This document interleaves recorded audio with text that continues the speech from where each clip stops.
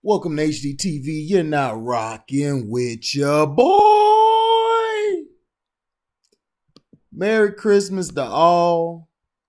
And hope everyone is having a safe um Christmas. And I appreciate the support. We're at 200 subscribers, man. I mean, wow, that's amazing. To me, it's so amazing how far we've come with the content. Um, when we do our our stream yards, I appreciate everybody for coming through, and um, I just thank thank everyone for um just being there. Now, now basically the San Antonio Spurs look very good, and I think a lot of times we forget how great Gregg Popovich is. You know, we we kind of take his greatness for granted. But um the things that I loved about what I saw was um the backcourt they have. Lonnie Walker the fourth, and then you got um DeJounte Murray. Now, DeJounte Murray, if he stays healthy the whole year, the Spurs could be a dangerous team and, and they could probably get in to the playoffs. It's going to be tough, but they look good.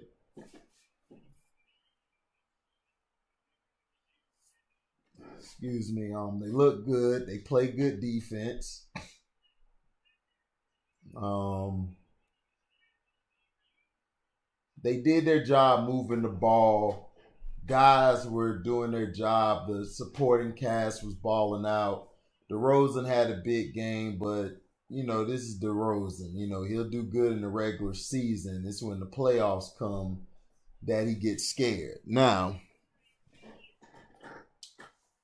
looking at Memphis and um looking at um Dallas, Luka, and then Ja Morant. My thing is this. I believe Ja Morant is long term going to be a better player than um Luka Doncic. To me, he has better control of the offense than Luka. He also can defend at a higher level than Luka, and he just has that dog and that nastiness to him. Where Luka, you know, he he's great, but at times Luka sometimes he'll get caught up with the refs, and then not only that, he's barely able to keep his balance. He tripped over his own foot and um hurt his ankle. Well, he hurt his ankle earlier in the game when he fell, but it's just that it kept lingering. Excuse me, it kept lingering. So to me, I, I like Ja Morant in the long term better than Luka. Now, this isn't to say Luka's a bad player. You know, Luka to me could he has the potential to be probably one of the greatest players to ever touch the basketball court. But some of the things that I just didn't like was the, the three pointers and uh, settling too much for bad shots. Um, Dallas Dallas really should have um been blown out, but because of the supporting cast like Josh Richardson, Dorian Finney, Tim Hardaway. I, I told you. And then they still got Burke and they got Brunson. Burke and Brunson are very key off the bench um, when they come in. And it was a great thing they did. They were moving the ball around. Everybody was getting involved. Um, Luka hit some shots. Um, to me, Luka's better going to the basket or fadeaway or posting or, you know, he's a much better guy. He to me, his three pointer is very terrible to me, and, I, and, he takes too many threes at times. Sometimes it's like, look, man, like West, like Westbrook did, yes, like he did. I'm thinking yesterday, day before. Westbrook basically just said, "I'm done shooting threes. He only made, uh, he didn't make, he shot twice, and made none. But um, the Spurs look good. Um, I just don't trust DeRozan and um Aldridge. I would still try to move those two guys and just get some picks and get some players because you're not going to the um championship this year. So to me, it's no point in keeping them. It's just a waste of space. Now, to me, the Mavericks don't need Porzingis. They don't. To me, I would try when he comes back, I would play him for a little bit and get his value up, and I would try to move him. He's injury prone. He's gonna forever be injury prone. He's gonna forever get hurt and things like that. It's like, man, what else can you do? Now, the Phoenix Suns look good. Um, the Phoenix Suns look good because of their supporting cast. Um, you had number 25, I think that's Mikal Michael Bridges or Mikal Bridges. I don't know how you say his name. He's good. He hit some shots and also on the defensive end, his length. I like Monty Williams' game plan when he had him basically picking um Luka up full court, which is what you got to do. When you watch how to guard LeBron James, it's the same thing with guarding Luka. Only difference is Luka's a better, you know, he has more skill and a better player than LeBron. But you got to think about it. If you pick these guys up from full court, they, they don't know how to function. And this is the thing I don't understand when people play LeBron they just let him bring the ball up court, all non pressure. But when you pressure him, he turns into a basket case. But um, but yeah, the Suns they have some guys. Um, I like that guy. I like that number two. He's pretty good. Um, Ayton is looking phenomenal. He's gonna be that big. He just has to learn how to stay out of foul trouble.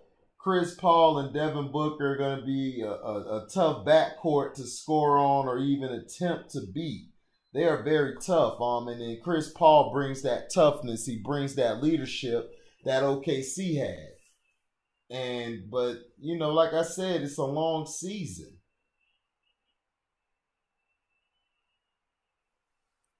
It's a long season. You know, things can happen. Now, the Suns defensively was better. Um, they they did a lot of things I love. Um, picking Luka up full court. Um, boxing out. They were boxing out a lot.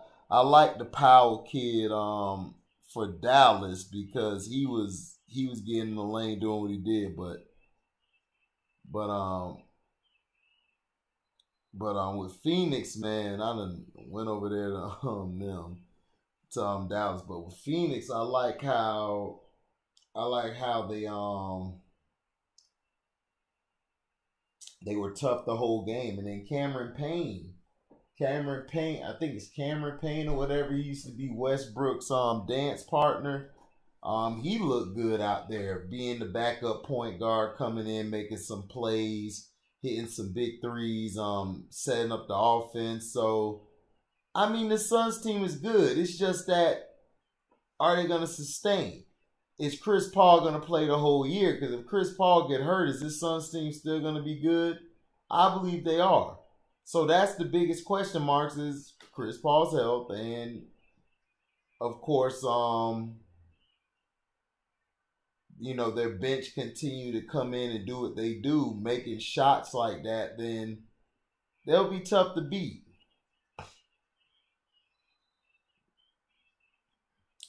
Now the Mavericks, like I was saying, um, Luka just has to.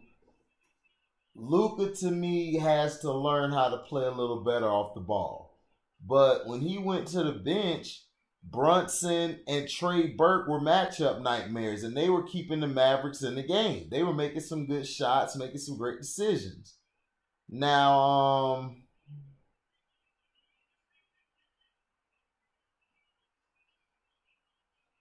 Trying to think. Yeah. But um the Spurs, man, they they're gonna be a tough team. But Dallas, excuse me, I'm going too far. I'm all over the place. Sorry about that. Um Dallas is gonna have to um Luke is gonna have to learn how to play off the ball. He has to learn some things. And um to me, they'll be fine. They got a good supporting cast. Dallas, I told you, is to be my fourth or fifth seed. They didn't look like it last. They didn't look like it yesterday, but shoot, it is what it is, man. Things happen, and you got to understand. You know, they they just getting back from you know having to go through the bubble. But Luka this year has to work on his decision making. Cut down the threes and go for your twos. Go for the, the mid range game and the post game is a lost art in basketball.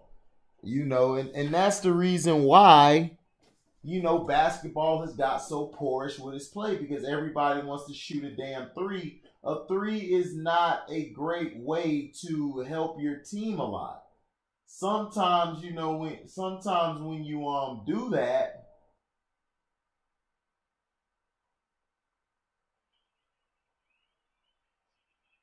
you know sometimes when you do that it, it's that it hurts your team and and dallas for some reason like like i said um dallas they'll be fine i believe they'll get there but luka has to go more into the post and shoot the mid-range as well as you know, post up, do what he has to do. That's a lost art because guys want to shoot these dumb jumpers, and it's stupid to me. But um, I think Ja Morant in the long term is going to be a better player than Luka Doncic. I believe he is. I believe he's a little more tougher than Luka, and I believe defensively, Ja's a way better defender. And to me, controlling the offense, I think Ja's a little better and he's very tough. So that's how I look at it. But um, but Memphis, I I just don't like their team. When they got rid of those guys last year, I think that really hurt their team. They basically need another guy off the bench who can score, and they need another guy who can facilitate. Ja Morant is burning himself out. If Ja Morant continues playing like this, he's gonna burn himself out. So they need to find a way to get him some help, get him some pieces over there. Because Memphis could be a dangerous team. Him and Dillon Brooks are a very good backcourt. A very young one, but they're very good. Dillon Brooks, I like Dillon Brooks' toughness. I like, you know, he's ready to fight all the time, and that's what you need. So to, to me, that's what I took from those games and everything. Um so all I can say is, man, um, it's gonna be a long season. I just hope the defenses stay how they are, where guys are actually playing defense. But um, let me know, man, in the comment section, who would you take, Ja Morant or Luka Doncic? To me, I would take Ja Morant. Maybe I'm biased because I've like loved him since he was in college, but I would take Ja Morant. I believe Ja Morant is a better player, more far superior player than Luka. But um, is going to get more publicity because he's of the pink colorization. So um, thank you for listening. Like, comment, subscribe, share this. Hit the notification bell to select all to receive upcoming content.